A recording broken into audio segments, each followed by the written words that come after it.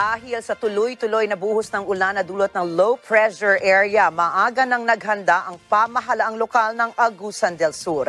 Itinaas ng alerto sa ilang mga ilog doon at kasado na rin ang mga tauhan ng Municipal Disaster Reduction and Management Office para masiguro ang kaligtasan ng mga residente. Si Princess Castillo para sa report.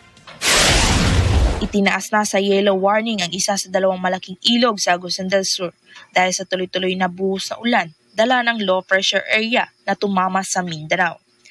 Bagamat nasa normal pa ang Bahayan River, tinaasan sa yellow warning ang Simulao River kaya pinag-iingat na ni Bunawan Mayor Salva Elorde ang mga residente na nakatira malapit sa ilog at nasa paanan ng bundok.